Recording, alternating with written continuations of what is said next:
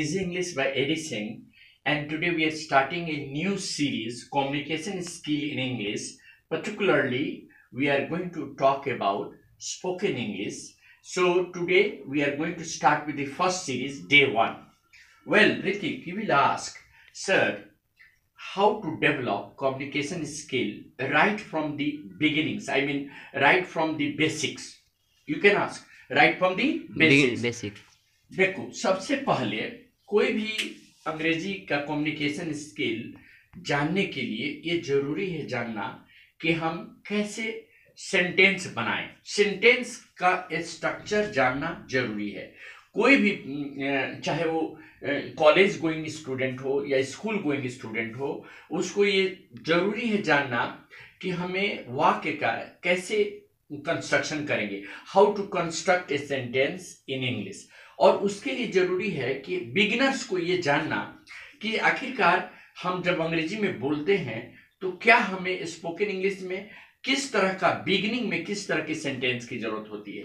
तो देखिए in the beginning we start with a simple sentence and we start with ordinary expression they are called simple sentence what are they called simple sentences yes Riti and in simple sentences the construction of sentence requires subject plus auxiliaries auxiliaries plus object plus complement this this will this will be the elementary structure of any kind of sentence कोई भी sentence जब शुरू करते हैं beginning में कोई भी आदमी बोलना चाहता है अंग्रेज़ी में तो वो पहले हिंदी में सोचता है चाहे अपनी मातृभाषा में सोचता है तो उससे पहले छोटे छोटे शब्दों का मिला करके सेंटेंस बनाना होता है। जैसे कि अगर कोई आदमी कहीं पर किसी के साथ बात करना चाहता है तो इनिशिएट करते समय कन्वर्सेशन इनिशिएट करते समय उसे छोटे छोटे सेंटेंस की ज़रूरत पड़ेगी।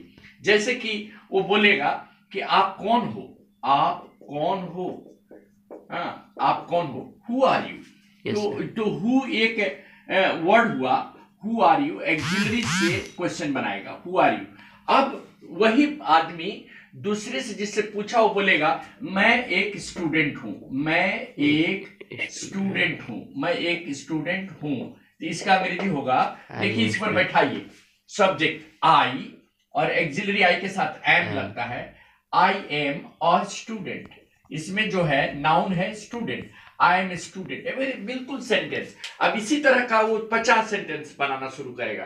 कोई कहेगा मैं एक एम्प्लॉय हूँ. I am a serviceman I am a service कोई कहेगा मैं एक बिजनेसमैन हूँ. तो बोलेगा आई एम ए बिजनेसमैन इसी पर एक हज़ार सेंटेंस बनेगा।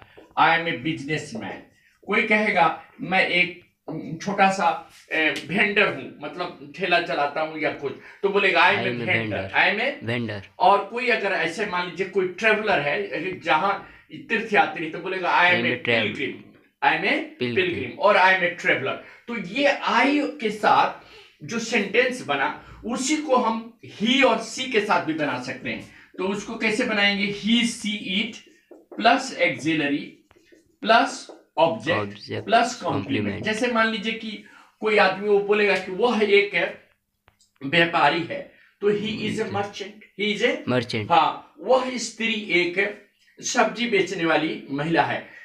She is a greengrocer she is a greengrocer वह आदमी एक डीलर है।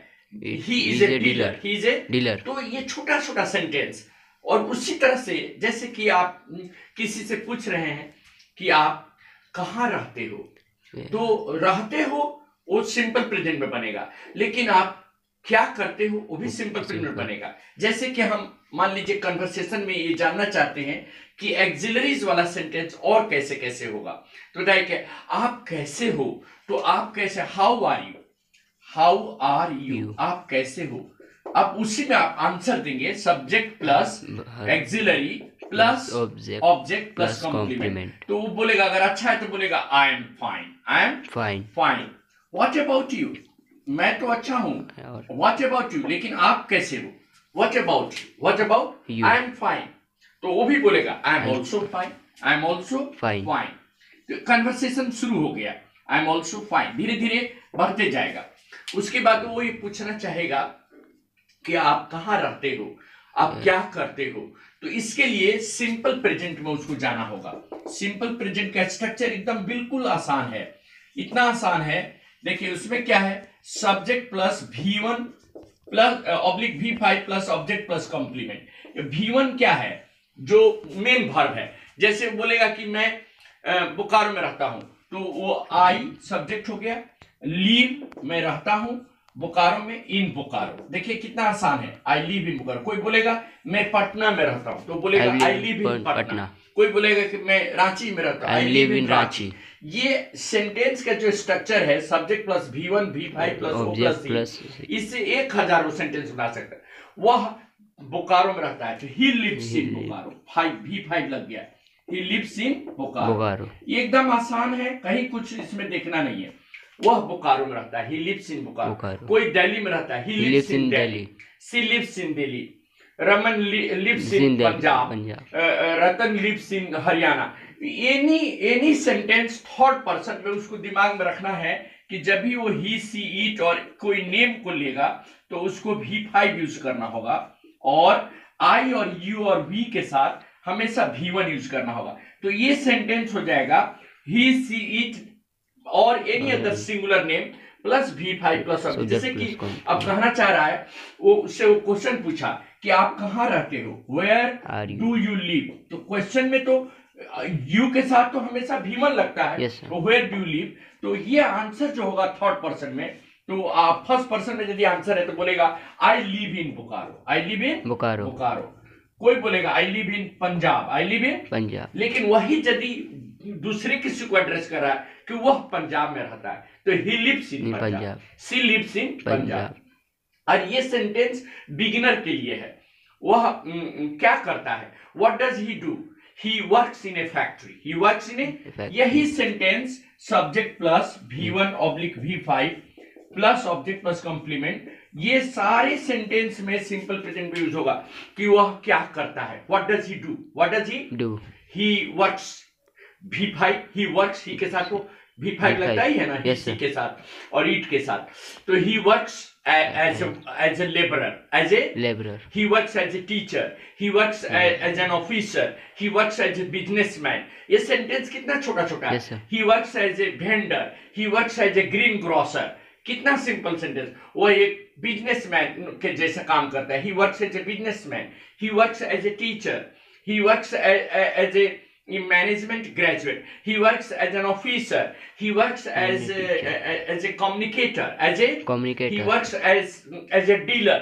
ये सेंटेंस सबके आसान वह एक डीलर के रूप में काम करता है। वह एक व्यापारी के रूप में काम करता है। He works as a merchant he works as a merchant और ये सेंटेंस का कंस्ट्रक्शन ये बोलचाल की भाषा में रोज हम लोग करते हैं। जैसे कि हम बोलते हैं कि अच्छा बताइए आप सुबह में कितने बजे उठते हैं? तो when do you get up early in the morning when do you get up early in the morning आप सुबह में कितने बजे उठते हैं? उसका आंसर यदि आप फ़र्स्ट पर्सन वाला बोलता है तो सीधे बोलेगा I get up at five o'clock in the morning I get up at five in the morning at five in the morning और वही अगर किसी दूसरे के बारे में आप बोल रहे हैं तो गेट्स हो जाएगा. He gets up at five in the morning she gets up at six in the morning they get up देखिए किसके किसके साथ में भीमन लगेगा?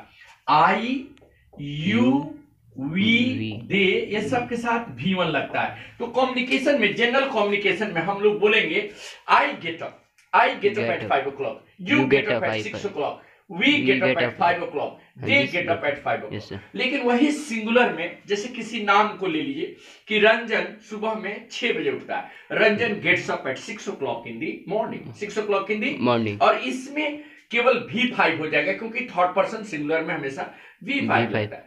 वही जब प्लूरल में एक साथ लेंगे तो उसमें भी मन ही लगे जैसे कि many boys get up late in the morning many boys get up many boys plural हो गया तो प्लूरल के साथ भी मन लगेगा। Plural verb plural subject third person में।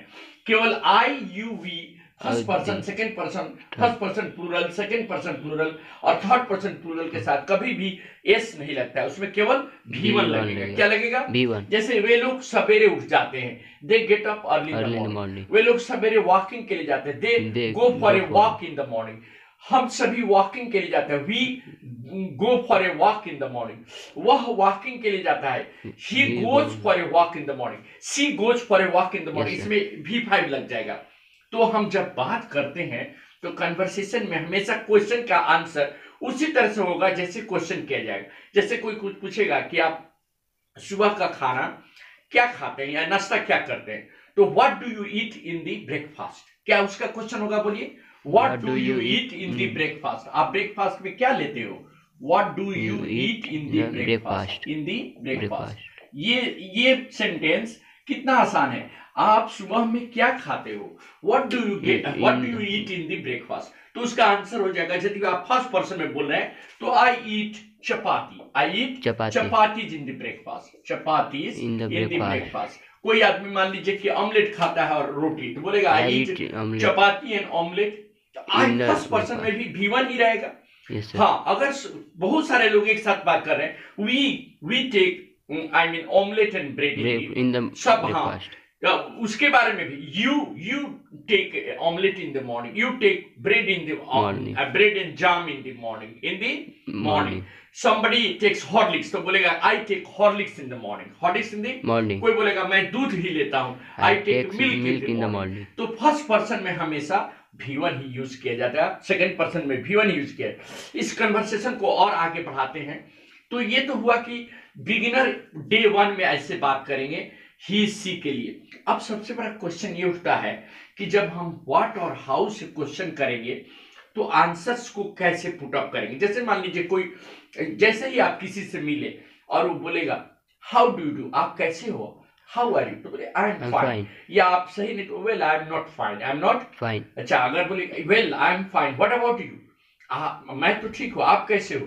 I am also fine I am also fine अच्छा अब वो पूछना शुरू करेगा कि वेयर आर यू फ्रॉम आप कहाँ से आए हो? वेयर आर यू फ्रॉम देखिए सेंटेंस कितना सुंदर है। Where are you from. कहाँ से आप हो? मान लीजिए आप झारखंड से हो तो बोले I am from Jharkhand. I am from Jharkhand. कोई आदमी हरियाणा से बोलेगा आई एम फ्रॉम हरियाणा. कोई पंजाब से आई एम फ्रॉम पंजाब. कोई बोलेगा दिल्ली से आई एम फ्रॉम दिल्ली. कितना अच्छा सेंटेंस है। Yes, कोई बोलेगा कि मैं बिहार से I am from Bihar I am from Patna. एकदम सेंटेंस एक ही जैसा होगा। मैं पटना से हूँ मैं बिहार से हूँ मैं झारखंड से हूँ आई एम फ्रॉम झारखंड ये सेंटेंस कॉमन सेंटेंस रहेगा कॉमन कन्वर्सेशन रहेगा वेल उसके बाद वो आपसे उसी तरह से छोटा छोटा सेंटेंस पूछेगा कि अच्छा बताइए आपकी फैमिली में कितने लोग हैं how many members are in your family how many members are in your family बोलेगा well my mm, family is very small. I have five members in my family. I have five, Five members, members in my in family. family. वो बोलेगा what about you? तो वो भी बोलेगा I have a joint family I have ten members in the family ten members in family तो ये sentence जो आई है बोला है उसका हो जाएगा सब्जेक्ट प्लस हैव और has plus object plus complement. जैसे मान लीजिए बोलेगा कि उसकी लंबी फैमिली है। He has a long family he has a Long family. He has a joint family और वो बोलेगा नहीं मेरी एक छोटी सी family I have a small family I have a small Family. कोई बोलेगा I have many members I have many members तो इस तरह से डे वन में हम लोग देखिए शुरुआत किए कि हम लोग समराइज करेंगे कि छोटा छोटा सेंटेंस जो एक्सिलरी से शुरू होता है आप का क्या करते हो? आप कहाँ से हो? आप क्या कहाँ रहते हो? Where do you live what do you do आप कैसे हो? हाउ आर यू ये सब सेंटेंस हम लोग डे वन में शुरू किए। क्या क्या शुरू किए? कि देखिए आप कैसे हो? How are you? आप कहाँ से हो? Where Where are you from जब बोलेगा कि I am from Jharkhand I am fine what about you I am also fine what do you do तो बोलेगा आई एम बिजनेसमैन businessman. और आई एम ए सर्विसमैन और बोलेगा well क्या आप सुबह में ब्रेकफास्ट लेते हो? What kind of breakfast do you take in the morning कोई बोलेगा आई ईट चपाती कोई बोलेगा I eat. Bread and omelette वो अपना एक ही तरह का सेंटेंस रहेगा सिंपल प्रेजेंट में ऑर्डिनरी सेंटेंस जिसको बोलते हैं। बिल्कुल ऑर्डिनरी सेंटेंस और उसमें कुछ ज़्यादा सोचने की ज़रूरत नहीं है। तो हम लोग जो बिगिनिंग में जो सेंटेंस कम्युनिकेशन स्किल में शुरू करते हैं जैसे कि मान लीजिए आपको बोलना है कि सर आज बहुत ठंडा है। Today it is very cold तो इसको सेंटेंस कैसे बनाएँगे? It is very cold today very cold Today. Today तो ये जो सेंटेंस बना इट के बाद हमने इज़ एम आर यूज़ किया is am are plus adjective use किया। जैसे आज बहुत ही ठंडा it is very cold today it is very cold today. अब इसी को क्वेश्चन में how cold it is today कितना आज ठंडा है कितना आज? ठंडा है। इसका आंसर हुआ it is very cold today it is very cold today और मान लीजिए धूप निकला हुआ या there is sunshine outside there is outside the, the, the, I mean, there is a sunlight outside. There is warm, uh, बाहर में अच्छा है, लाइट है, अच्छा धूप निकला है. There is a beautiful sunshine outside. But inside it is cold. Inside it is Cold. It's से बहुत सारा सेंटेंस बनेगा. ये दूध बहुत ही ठंडा है. This milk is cold. That milk is hot. चाय ठंडी है. Is cold. कोल्ड चाय गर्म है. Is hot. hot. Tea is hot तो ये छोटा छोटा सेंटेंस हम लोग जो रोज रोज हाँ चाय अच्छी है the tea is fine the tea is fine हाँ डे अच्छा है the day is fine. The day is fine ये सेंटेंस हम लोग रोज यूज़ करते हैं और बोलते हैं। आज आज दिन साफ़ है। The day is clear clear the day is clear there is no cloud there is no cloud ऐसे करके हम लोग बोलते हैं। तो आज हम लोग बिगिनिंग में बहुत ऑर्डिनरी सेंटेंस जो ज़्यादातर एक्सिलरी से शुरू होता है उसका यूज़ करते हैं और बोलने चालने की भाषा में कम्युनिकेशन स्किल में इसका यूज़ करते हैं कि आप कहाँ से हो आप कहाँ से आए वेयर आर यू फ्रॉम आप क्या करते हो? व्हाट डू यू डू तो वो बोलेगा आई एम फ्रॉम झारखंड और I am from Bihar and I I am a businessman और आई एम ए वर्कर वो अपना ऑर्डिनरी सेंटेंस में बोलेगा I am a teacher I am I am a vendor I am a green grocer I am a shopkeeper वो अपना बताएगा। ये छोटा छोटा सेंटेंस हम लोग आज शुरुआत किए बिगिनिंग में।